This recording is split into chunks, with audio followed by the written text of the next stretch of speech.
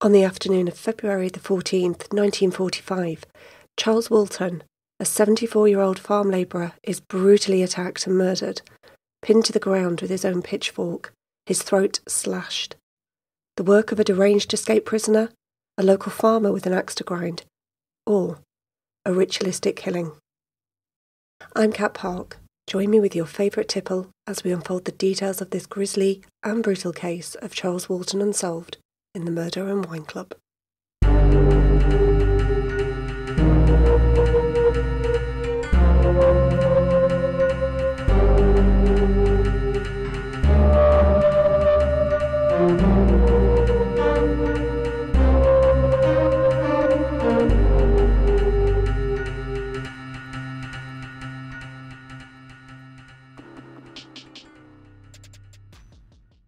Alfred Potter remains the prime suspect in Charles's murder, but Fabian and his team cannot find enough credible evidence to convict him.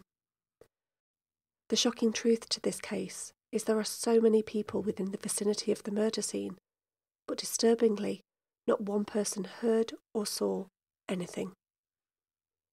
No one heard Charles's cry as the attacker pounded and stabbed his body. No one will admit to seeing anyone walking to and from the scene. As part of the ongoing investigation, with the hope of discovering that one piece of evidence will move the case forward, the police interview residents of the dwellings close to where Charles has been murdered. The nearest dwelling to where Charles's body was found is a cottage 300 yards away. Its occupants are a 33 year old woman and her 59 year old lodger. The woman has been working as a housekeeper in Upper Quinton, and on the day of the murder had been working there until 12:15 p.m. She had then called in on her aunt in Upper Quinton and returned to the cottage to prepare lunch for herself and her lodger. Her lodger is employed at the printing works where Edith, Charles's daughter, works. He returned to the cottage at 1:08 p.m. and stayed with his landlady until 2 p.m. Both left the house together. Neither saw anyone pass the cottage or the fields nearby and heard nothing unusual whilst they were in the cottage. Another dwelling that had a clear view of the field where Charles was murdered was a caravan occupied by a flight lieutenant and his wife. Just before he left to go on duty at Long Marston's aerodrome, the flight lieutenant sees Charles pass his caravan at about 8:30 a.m. He is away all day and returns at 5:30 p.m. His wife remained in the van all day and tells detectives that she did not see anyone in the field at any time after seeing Charles walk past. His wife tells the police their baby had been particularly unsettled that day and she had been consumed with their child. Someone possibly could have passed the van without her knowing. She couldn't be sure. Potter, interestingly, had said he'd gone to the field adjacent to where Charles was murdered at 12:20 p.m. But he was not seen by the wife, even though he would have had to have passed quite close to the van.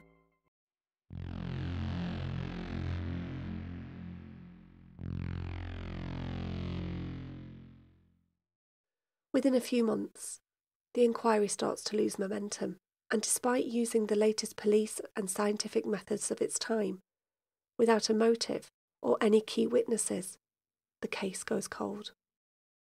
There is, however, one more line of inquiry that the police can take, but it is one that they are unwilling to publicly investigate. When Charles was found, it was noted that his trousers and shirt were undone, and it was considered that they might have been undone by his murderer looking for a money belt as it was thought he had money. The police report noted that if robbery was the motive, the murderer was likely to have been a person with local knowledge. There was also another, more sinister explanation. Rumours started to circulate that when Charles's body was discovered, a cross had been engraved on his chest. Walton was considered by some locals to have connections with local superstitions folklore, and the supernatural. Some believed he was a witch whose powers were feared by some villagers. It was claimed he could cast the evil eye and kept natterjack toads as pets, and used them to destroy the crops and livestock of local farmers. Two examples cited were the failure of the 1944 harvest and the death of Potter's calf on the 13th of February. It was claimed that this alleged witchcraft had led him to be murdered in a ritualistic manner, which involved his blood soaking into the ground to replenish the soil's fertility.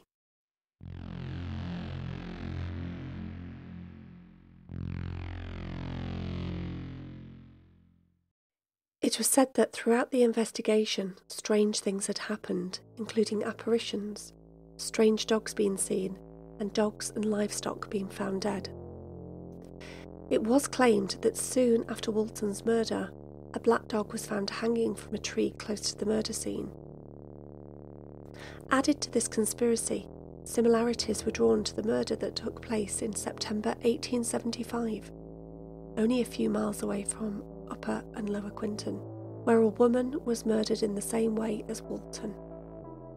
Anne Tennant, aged 79, was stabbed to death without warning by a local farmhand, James Haywood, using a pitchfork.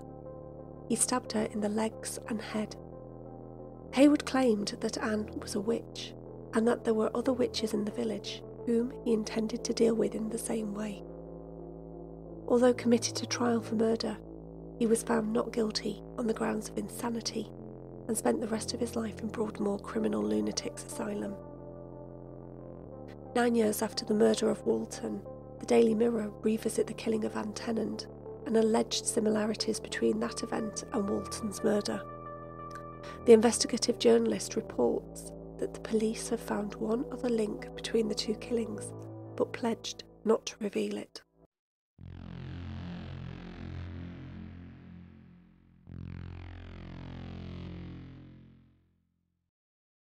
Despite the circumstantial evidence weighted against Potter, there is no physical evidence linking him to the crime, nor any witnesses.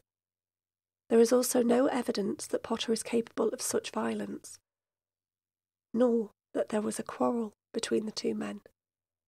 Add in a village that remains tight lipped, the case goes cold. Reluctantly, Fabian and Webb return to London.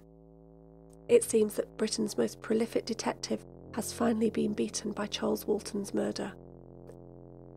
It is a case that becomes a personal obsession for Spooner, part of the original police team, long after the world has lost interest and the files have begun to gather dust. He becomes a familiar face about the village, often arriving unexpectedly to spook the killer.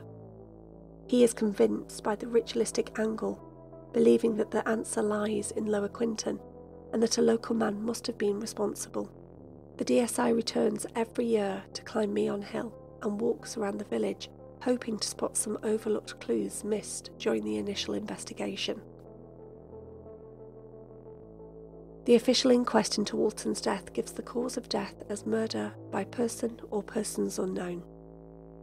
Charles is buried in the churchyard at Lower Quinton, but years later, due to crowds of people descending onto Lower Quinton, a family member removes his headstone.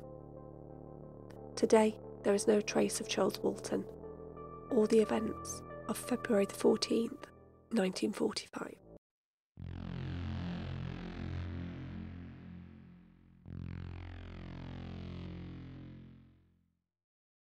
Due to the notoriety of the case, many amateur sleuths have visited Lower Quinton to see if they can crack the case that Fabian could not.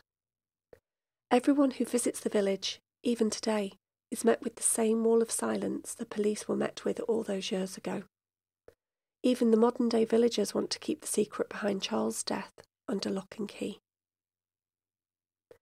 Fabian, many years later, commented that Alfred Potter probably did commit the murder and that the villagers knew the reasons behind the killing. Alfred Potter died in 1961, taking whatever secrets he had to the grave. One more strange occurrence happened in August 1960. The outhouses behind the cottage rented by Walton were being demolished. One workman discovered an old tin pocket watch. It was later identified as Walton's. Inside the watch, a piece of coloured glass was found. Walton never let this watch out of his possession.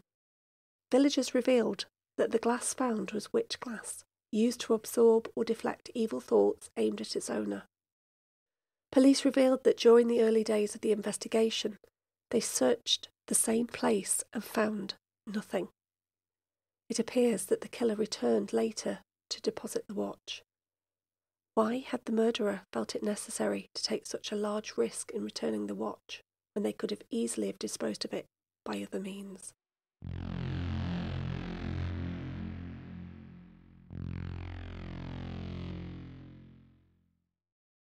The murder of Charles Walton remains open to this day and is considered to be Warwickshire Police's oldest ongoing investigation.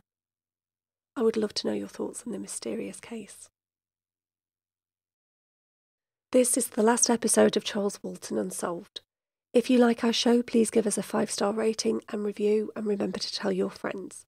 Thank you so much for supporting the Murder and Wine Club podcast. We really do appreciate it. You can listen to all future episodes right now before anyone else by joining the Murder and Wine Club Access All Area membership.